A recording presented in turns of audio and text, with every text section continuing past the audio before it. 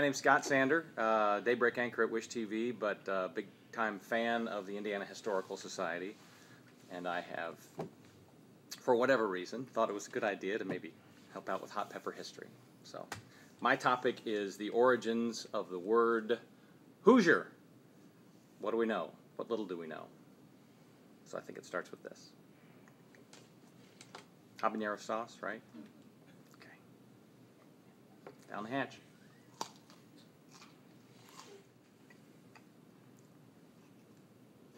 There's some heat there.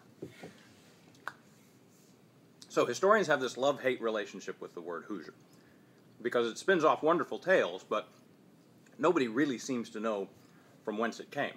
Everybody has a story about the word Hoosier, but it seems like nobody has the story about the word Hoosier. So we'll start with the most well-known and well-worn tales. First, perhaps most famously, from favorite son James Whitcomb Riley. The notion that this all sprung out of a a violent confrontation in some long ago settler's tavern that the mayhem reached a point where an ear was cut off and the tavern owner reached down and picked it up and theatrically said, Who's here? And that became Hoosier. Or the, uh, the settler's greeting when they get a knock on the cabin door, instead of flinging it open, saying hello. They'd say, Who's there? And that became Hoosier but apparently the historians think that's nonsense. Much like Riley's, because Riley clearly was playing it for a lark. But people insisted it's true these years later. Then there's the apparently plausible but somewhat dull explanation that there was a canal contractor by the name of Hoosier who employed so many men there were Hoosier's men, which later became Hoosiers. Again, sounds like a reasonable explanation, but the historians have said it's nonsense.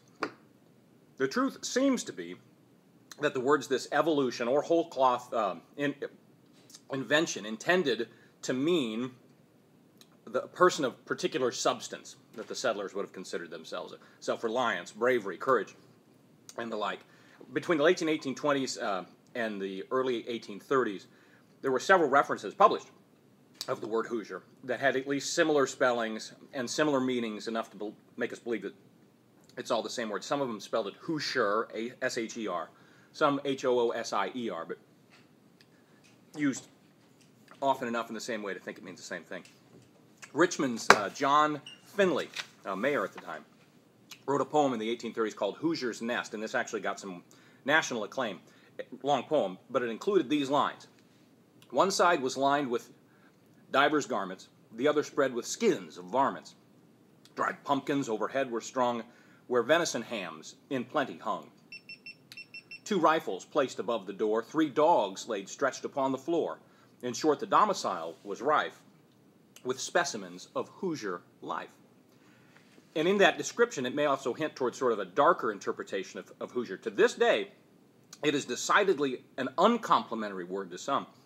The way the word is used, for instance, in and around St. Louis, Missouri, if you've not been there, just go and call yourself a Hoosier, and you'll get bizarre looks. To their there to this day, calling somebody as a Hoosier, uh, a Hoosier is to brand them as, as low class, no account, and good for nothing. Lately, there's also been this twist in the tale.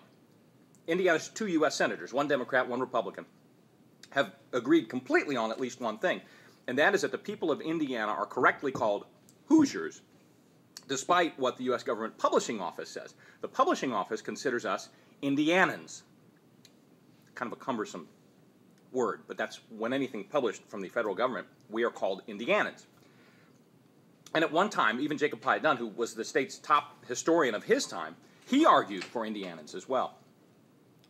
But that argument faded, and now, here very recently, uh, Senator Joe Donnelly and Senator Dan Coats have come together to petition the U.S. government to now and always, whatever the origins, refer to us as Hoosiers. May I have some milk?